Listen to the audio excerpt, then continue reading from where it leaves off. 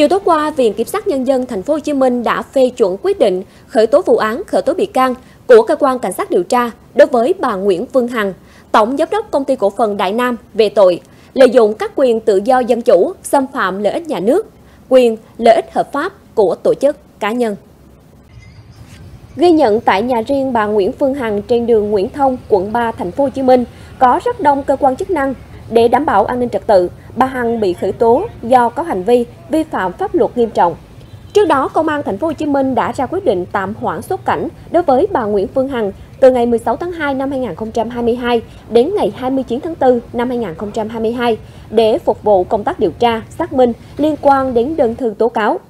Nhiều cá nhân đã tố cáo bà Nguyễn Phương Hằng có hành vi lợi dụng mạng xã hội, xâm phạm lợi ích cá nhân, xúc phạm danh dự và tung tin không có thật.